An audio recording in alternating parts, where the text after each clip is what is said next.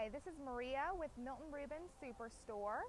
As you know, students in the CSRA are getting ready to begin school. Unfortunately, many of these students go back to class unprepared because their families are unable to afford school supplies.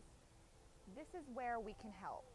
Here at Milton Ruben Superstore, we have teamed up with a local elementary school and are accepting any and all donations through August the 7th.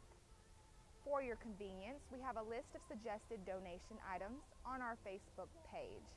Please remember these are only suggestions and any donation will be appreciated. Thank you.